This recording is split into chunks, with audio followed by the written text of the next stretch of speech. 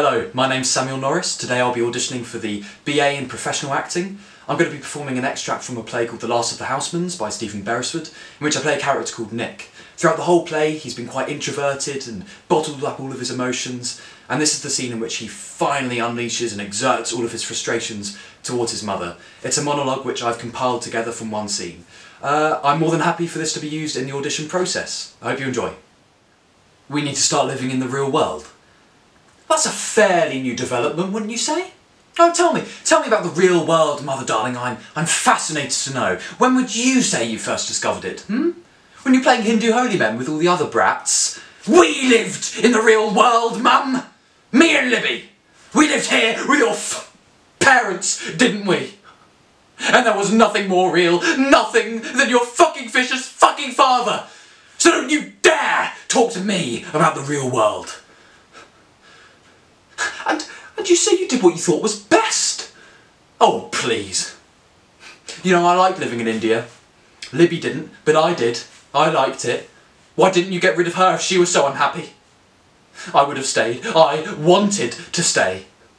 And then Libby, tell her, tell her what it was like. It was...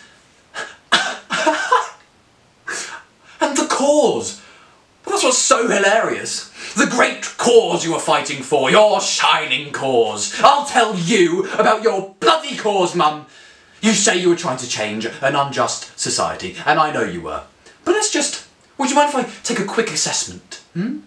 I think when something is so important that you would abandon your own children for it, we can be permitted a little stocktake, can't we? No sign of peace or equality here, I'm afraid. No justice. But what's this? Henna tattoos are still making an impact. Yeah, that's something. Uh, yoga, yeah, yeah. Wholemeal bread. And the drugs, of course. And what's this? Steeleye Span are still touring the globe. Well, that's a comfort, isn't it? At least your revolution wasn't entirely in vain. Because I don't know if you noticed, Mum, but while you were wanking into a chrysanthemum, Margaret Thatcher made her entrance, didn't she? Did you see? Ronald Reagan, Jesse Helms, now that was a revolution.